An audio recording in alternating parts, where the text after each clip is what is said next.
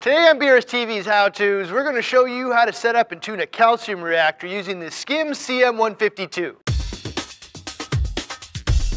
Hi, I'm Ryan, host of BRS TV, where each week we release a new reefing how-to. This week we're going to show you how to set up and tune this Skimz calcium reactor. Calcium reactors are really popular with advanced reefers because they're capable of adding large volumes of calcium and alkalinity. They also dose trace elements, they have no effect on salinity, and they just look cool. I also think a lot of people like the fact that you're melting old coral skeleton to create natural elements for the corals growing within the tank. First step is to unbox it and locate all the components, including the main body, circulating pump, return assembly, bubble counter, secondary media chamber, tubing, and a small bag of plumbing. There's also some additional equipment you need that doesn't come with the reactor, a CO2 tank, a CO2 regulator with a solenoid, a Mur-Lok check valve, feed pump, the feed pump connections, a couple bags of calcium media reactor media, and possibly a magnesium additive, as well as a pH controller. Next, we're going to unscrew the bottom union from the reactor and attach our pump locate the small parts bag that came with the reactor and insert the two seals that came with it. Once the pump is attached, follow by attaching the return assembly. Loosely attach the union, then the pump, and then tighten all three connections. Now loosen the series of thumb screws on the reactor and remove the lid. Note that it comes inverted for shipping and will need to be flipped over when we reinstall it.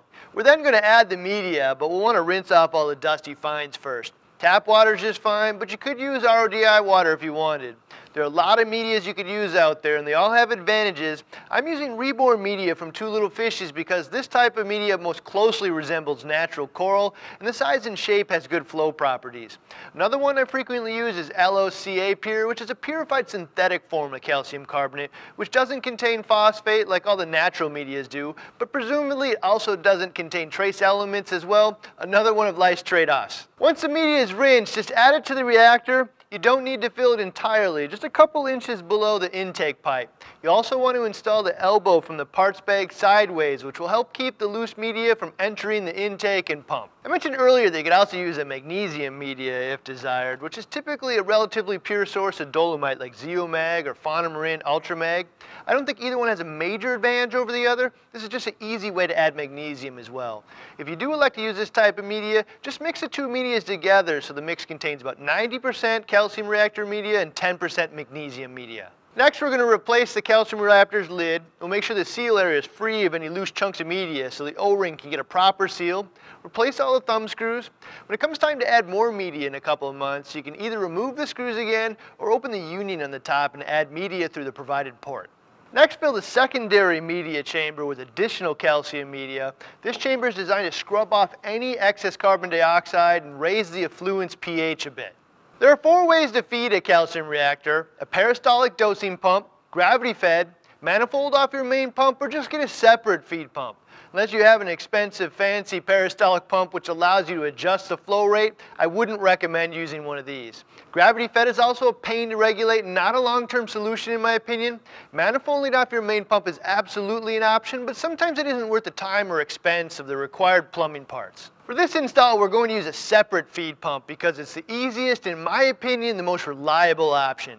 The manufacturer's instructions recommends a 500 to 1,000 liter an hour pump, which is around 130 to 260 gallons. I selected the Sicce Syncra 0.5 because it's right in the middle at 185 gallons. In my opinion, Sicce makes the most reliable and quiet submersible pumps out there. The Sicce pumps also have a nice half inch female threaded port it does have an insert in there, so it doesn't allow you to fit in absolutely every fitting, but it does fit most nipples, and it does fit this nice Kynar fitting that we have, which is half inch MPT by quarter inch barb. We'll then use this 3 16 OD 1 quarter inch ID tubing, as well as a quarter inch RO stem adapter to fit it to the calcium reactor and feed it. Once that's done, we just need to attach a CO2 regulator to the tank. If you want a shiny new one like this, you can pick one up from us, which will come empty, and you can get it refilled at most paintball, welding, or home brewing shops. If you don't care if it's shiny or not, I just go to one of these places and get a used one and swap them out as needed. Kind of like a propane tank for your gas grill. Next attach the quarter inch tubing to the solenoid on the regulator and then to the bubble counter on the reactor. Make sure to use a rigid tubing and clip it somewhere in the middle to attach your Mur-Lok check valve with the arrow pointing towards the reactor. This valve will allow the CO2 to exit the tank but prevent salt water from entering the solenoid, regulator, or tank. This is particularly important when the CO2 tank becomes empty and there's no pressure preventing the water from entering the tank. Now attach the tubing from the other side of the bubble counter to one side of the T located on the top of the reactor. The other side of the T should be connected to the port on the side of the return assembly. This T on top helps recapture and recycle any excess CO2 which can collect at the top of the reactor. The next piece of tubing goes from the straight fitting at the top of the reactor to the bottom of the secondary reactor. And the last piece of tubing goes from the top of the secondary reactor to your tank. And this is where we're going to install the small valve from the parts bag. The only installation step left is to install the optional pH probe. The instructions in other reefers will say pH control is optional, but I believe accuracy and redundancy is the backbone of a successful reef tank, so I wouldn't even consider running a reactor without pH control. It'll become more obvious why as I explain how to tune the reactor in just a minute. The probe is pretty simple to install. Just unscrew the compression fitting, remove the plug, insert the probe, and retighten the compression fitting. The reactor is now ready to be filled with water, so you can turn on your Sicce feed pump, open up the intake valve wide open as well as the micro valve. Once the water has filled the reactor completely, you can close the outlet valve and turn on the recirculation pump for 5 to 10 minutes or until the water inside runs clear. At this point, reopen the micro valve slightly so you just get one drip a second. Next we need to set the CO2 intake of the reactor. The bubble counter should have filled on its own with water, but if it didn't, you can remove the check valve for a second and it will. We're using a Milwaukee regulator which has two pressure gauges and its own bubble counter if you wanted to use that one. We're just going to focus on the bubble counter that's on the Skimz reactor because your regulator might not have one of those.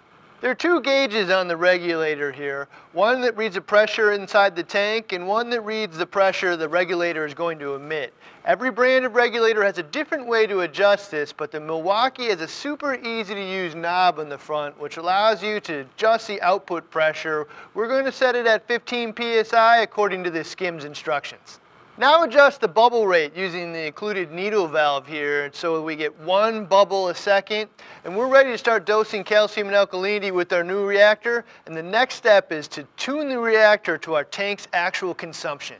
To melt the media inside the reactor, the pH needs to be between 6.6 and 7.0. Some medias may have their own range, so make sure to read the instructions on the packaging of your media. If the pH in the reactor is too high, the media won't dissolve properly. If it's much lower than 6.6, the media might melt and turn to mush. The pH is going to be a function of the flow rate and the amount of CO2 added to the reactor. If you're not using a pH controller, you'd have to use a pH meter or test kit to measure the effluent of the reactor to make sure it's in the right range. If you're an advanced reefer, feel free to try that, but if you're watching this video, I strongly suggest using a pH controller to regulate the pH within the reactor.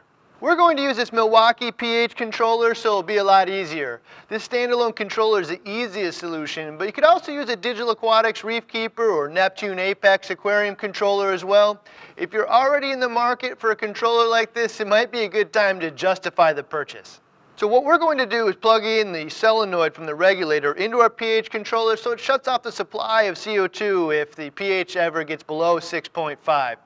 The solenoid will reopen once the pH rises again, which will allow additional CO2 into the reactor and regulate the pH in the range that we set on the controller. I'd also like to set the bubble rate so it won't naturally go much lower than the 6.6 on its own. So the goal here is to get the calcium reactor to emit close to the same amount of calcium and carbonate ions as the tank is consuming, and the only way to figure that out is to test. So we have it set to one drip a second, which is likely safe for most tanks, but you'll want to monitor your tank's parameters, including pH, alkalinity, and calcium for the first few days. Well, the manufacturer suggests one drip a second or 60 drips a minute emitted to the tank and one bubble or 60 bubbles a minute of CO2. I suggest beginners start much lower, like 30 drips a second and only 10 bubbles a minute and get a feel for how this all works. Once you get it stabilized and start dosing to the tank, you'll adjust the amount of calcium and alkalinity added to the tank by adjusting the flow rate of the effluent dripped into the tank. If the calcium and alkalinity levels are dropping, increase the drip rate of the effluent to the tank. If they're rising, reduce the flow rate. It shouldn't take that long to adjust to your tank's needs. During this time, many people will elect to test for alkalinity rather than calcium on a daily basis because they should be dosed and consumed in equal amounts. And alkalinity changes much faster, so it's easier to detect and adjust for.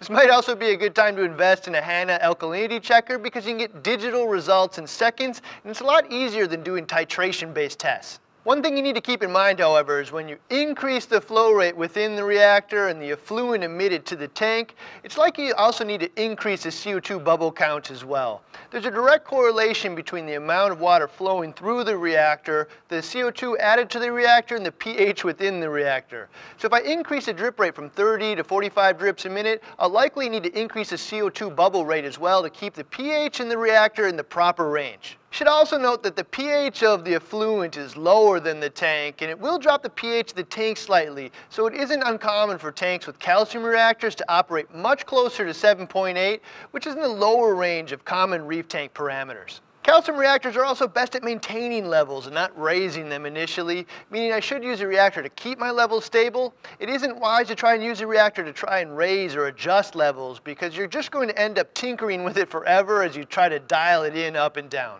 To get the calcium and alkalinity levels right to begin with, I'd use a common two-part additive, or my personal preference is just a jug of calcium chloride for calcium and sodium bicarbonate for alkalinity. I suggest sodium bicarbonate over soda ash for adjustments like this because you can add a lot more without having as big of an impact on pH, which makes it safer for larger adjustments. We also have a super easy to use calculator on our site which will tell you how much of each to use.